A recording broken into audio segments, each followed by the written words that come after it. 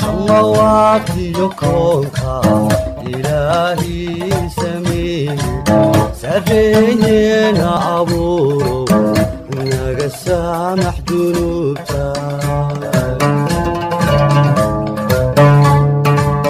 الحمد لله رب العالمين والصلاة والسلام على أشرف الأنبياء والمرسلين سيدنا ونبينا محمد وعلى آله وصحبه أجمعين أما بعد السلام عليكم ورحمة الله وبركاته ولا ليال ودرسيني أما عشر كيني ليبانت إسلامك وأنا عشر كيني صدحات وحمانت موضوعين ونقن دونين سوق هذا دونا alxuquuq bayna almuslimiin xuquuqda ay isku leeyihiin dadka muslimiinta ah ayaa casharkeennu ku saabsanaan doonaa.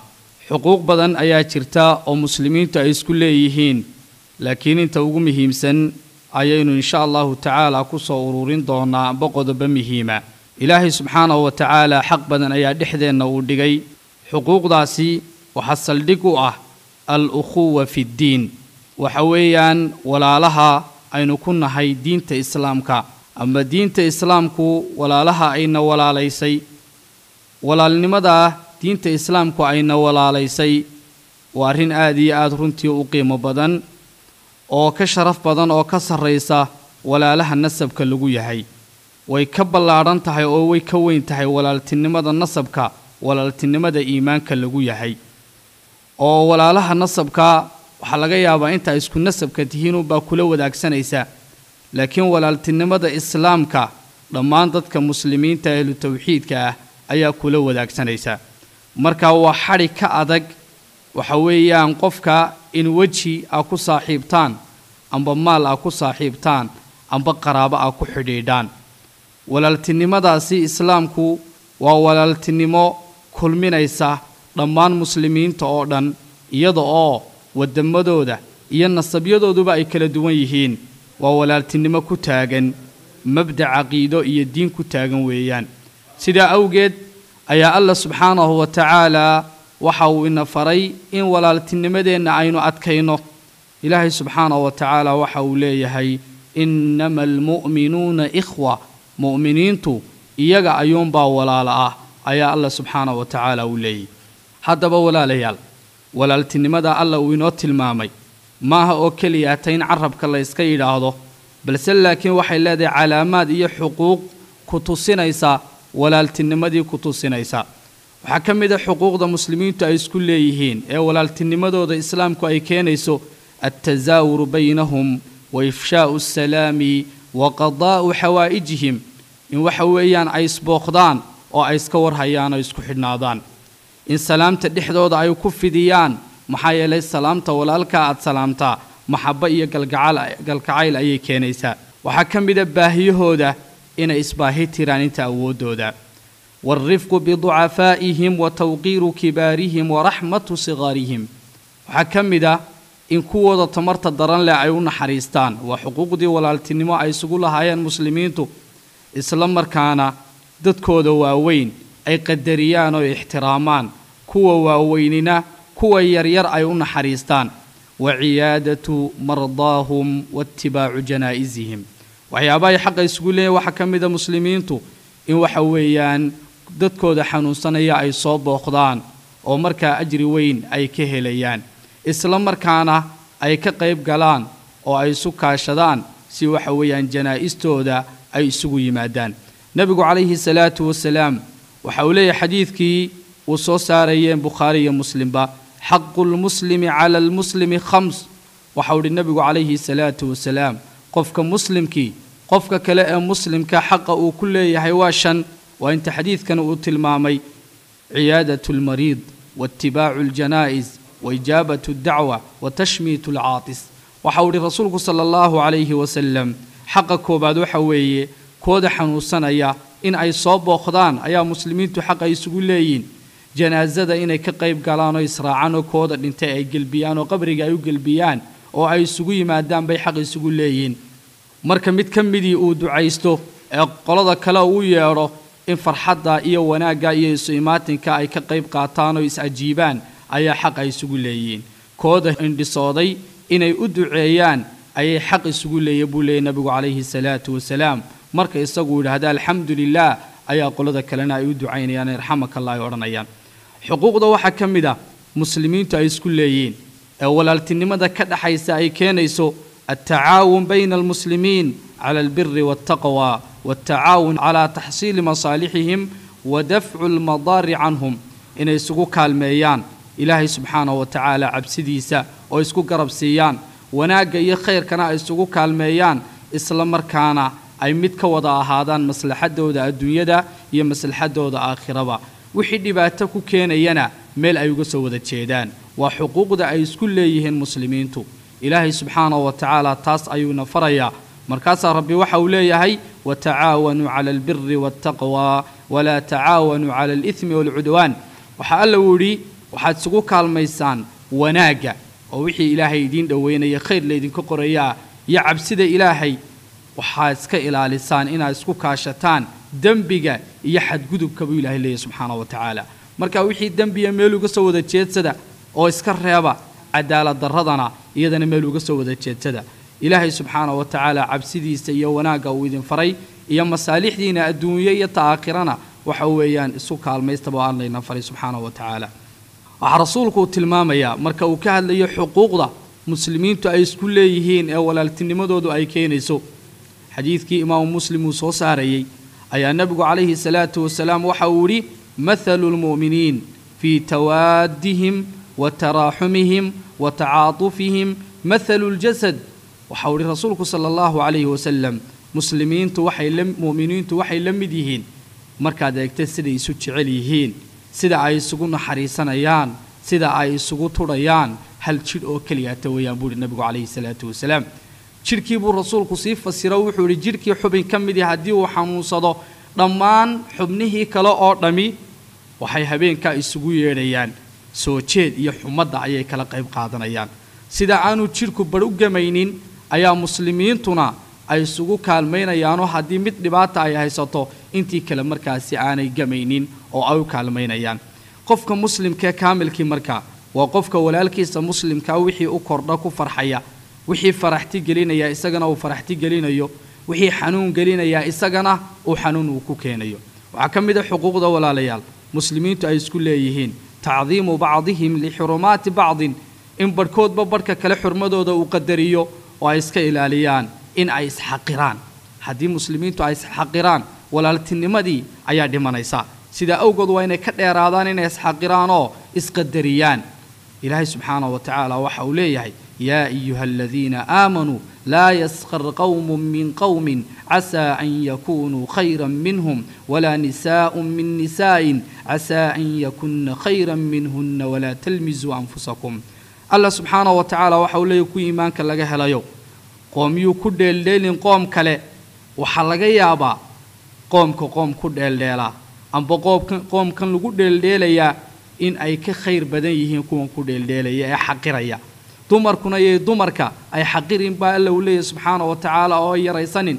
Waxaa laga yaabaa gabadhaad xaqiraysaa inay kaaba khayr badan tahay oo ilaahay agtiisa ay kaa fiican tahay.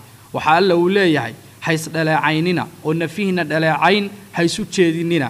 Maxaa yeelay dhaleecayntu waxay keenaysaa in ay isnacdaan. Saasaa alla inooga digaya subxaana wa tacaala. Waxaa alla uu tilmaamay aayadda xagga dambe uu ka raaciyey ha isu bixinina amba ha isku magacaabina laqabyada xunxun ee ay isku karaahiyeysanaysaan ee isku nacaysaan. Alla markaa wuxuu tilmaamay aayadda aakhirkeeda waman lam yatub fa ulaa'ika hum aldaalimuun dadka arrimahaa sameeya ee aan ka toobadkeenin waa qaar dulmi galay buu alla leeyahy subxaana wa tacaala. Muslimiintu markaa inay meel iskaga dhacaan waa dulmi ayay markaa ay noqonaysaa waxaa ka mid a xuquuqda walaalayaal ay muslimiintu isku leeyihiin an yuxiba almu'minu liakhiihi maa yuxibu linafsih qofka mu'minkii waa inuu walaalkii uu la jeclaado wuxuu naftiisa uu la jecel yahay taas ayaa shareecadeenna islaamku ayna faraysaa waxaa rasuulku leeyahy sala allahu calayhi wasalam laa yu'minu axadukum xataa yuxiba liakhiihi maa yuxibu linafsih mid idinka idinka mida iimaankiisu ma dhammaystirna oo halkii ugu dambaysay ee ugu sarraysay gaadhi maayo ilaa walaalkii uu la jeclaado waxa naftiisa uu la jecel yahay. Marka iimaankeennaay ka mid tahay kobaca iimaankeenna ayay ka mid tahay inaad walaalkaaga muslimkaa wanaagga aad la jeclaato marka maxay noqonaysaa jacaylkaasi? Waa maxabbadii diiniga ahayd weeyaan. Laakiin maxabadii iska bashariga ahayd looma jeedo.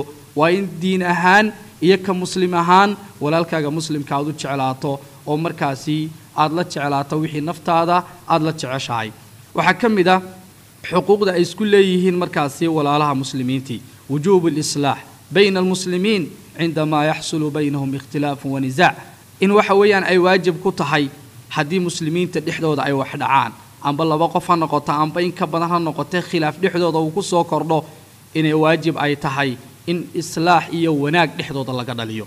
Allah saasuu ina faraya subxaanahu wa tacaala waxaa alla uu leeyahay fa aslixuu bayna akhawaykum wattaquu llaha lacallakum turxamuun waxaad wanaajisaan walaalihiin dhexdii dhexdooda islaax iyo wanaag iyo walaaltinimo ka dhaliya oo ilaahay ka cabsadoo alla ka cabsina ku dara marka arrintaa gelaysaan waxaa markaasi xaqiiqa ah inaad liibaanaysaan oo ilaahay idiin naxariisanayo. Naxariista ilaahay markaa waxay ku xidhan tahay inaynu inaku isu naxariisanno oo wanaagga aynu isfarno ayay ku xidhan tahay. Waxaa ka mid ah xuquuqda muslimiintu ay isku leeyihiin inay ka fogaadaan xumaan inay isu maleeyaan oo hawada ay isu mariyaan oo qalbiga ay isugu qabtaan oo qofka walaalkaaga muslimka ah haddii waxa weeyaan wax lagaa weydiiye aad tidhaahdid saasaan u malaynaya adoo xumaan markaasi afkaaga soo mariyey marka taasi waa shay markaasi xun oo walaaltinimadii muslimiinta iyo xaqii muslimiinta ay isku lahaayeen meel kaga dhacaysa. Waxaa ka mid a tajasus inay sameeyaan oo istaajuusaan oo ay istabagalaan iyaduna xaaraam weeyaan. Ilaahay subxaanahu wa tacaala waxa uu leeyahay yaa ayuha aladiina aamanuu ijtanibuu kaiira min aldan ina bacda aldanni ih waxaa alla wuhi kuwii mu'miniinta ahaa ee iimaanka laga helayo waxaad ka fogaataan in badan oo malaha ka mid a maxaa yeelay maluhu waxaa barhkii waa dembi buu leeyahay alla subxaanahu wa tacaala oo waxaa laga yaabaa dad ahlulkhayra oo fiican inaad shar u malayso oo dabeetana halkaa dembi uu kaaga soo kordho tajasuskana ilaahay subxaana wa tacaala wuu tilmaamayoo walaa tajasasu baa layidhi subxaana wa tacaala ha isjaajuusina marka tajasuska iyo jaajuuska wuxuu noqonayaa qofku inuu dabagalo qofka oo ceebihiisa uu raadiyo kabacdi dabeetana uu ku dhaleeceeyo. Sida maanta badan aynu u baahanay walaalayaal inaynu aada uga toobadkeenno xuquuqda muslimiintu ay isku leeyihiin waxaa ka mid ah inay iska ilaaliyaan inay isqishaan oo ay istagaan inay ka dheeraadaan. Maxaa leey nebigu calayhi salaatu wasalaam markuu muslimiinta uu tilmaamaya waxa uu idhi man hashanaa falaysa mina qofkana khiyaameeyana daga naga mid maaha. Macnaa dhaqankii fiicnaa iyo sunnadii nebiga calayhi salaatu wasalaam qofkaasi waa uu ka fog yahay. Inta badan qishkaasi waxa uu ku badan yahay mararka wax la kala iibsanayo oo kale. Inuu qofku isku dayo maalkiisa inuu socodsiiyo been oo kale inuu raaciyo khiyaamo inuu raaciyo si qofkan lacagta markaasi uu uga hantiyo. Sida oo kale kee wax iibsanayo laftarkiisa iyaduna inay khiyaamo ka timaado iyadana lama ogola. Waxaa nebigu leeyahy sala allahu calayhi wasalam labada qof ee wax kala iibsanaya khiyaar ayay ku sugan yihiin intaanay kala tegin. Waa khiyaaru majliskii weeye haddaba haddii ay run isu sheegaan oo ay isu caddeeyaan waxaan ay kala iibsanayaan qofkii wax iibsanayana uu caddeeyo waxaan uu wato waxa uu yahay. Kii wax iibinayana waxaan qofka uu ka iibinayo uu caddeeyo waxa ceeb uu leeyahay. Buurika lahumaa fii baycihimaa buu leeyay nabigu calayhi salaatu wasalaam.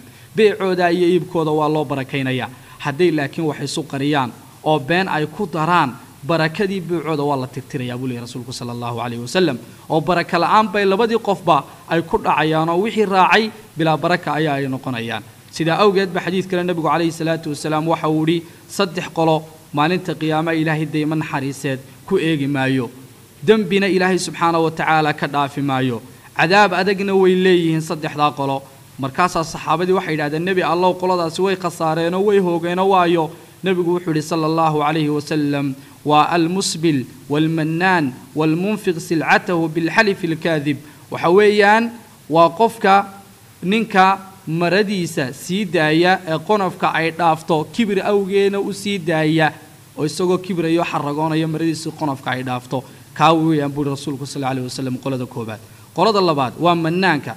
Qofka had iyo jeer wixii uu bixiye ka dabageeya waxa weeyaan manna sheegasho oo ajrigii ku baabiiya manna sheegasho kaa weeyaan. Qolada saddexaad waa qofka alaabtiisa ku socodsiiya dhaar beena buuhi nebigu calayhi salaatu wasalaam oo iibkiisii dhaar beena ku socodsiiya xaqa markaasi ugu dambeeyana walaalayaal ku gebagabaynaynaa waxa weeye muslimiintu ay isugu leeyihiin in waxa weeyaan muslimiintu ay kaa nabadgalaan nebigu calayhi salaatu wasalaam muslimka kaamilka markii uu tilmaamayey waxa uu yidhi almuslimu man salima almuslimuuna min lisaanihi wayadi muslimka dhammayska tiranli waa qofka muslimiintu ay ka nabadgaleen carabkiisa iyo gacantiisa.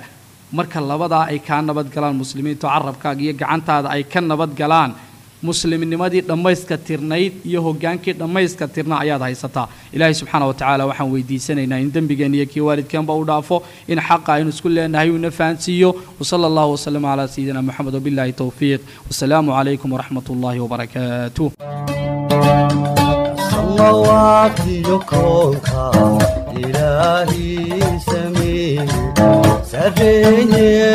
abuuro يا قسام محدود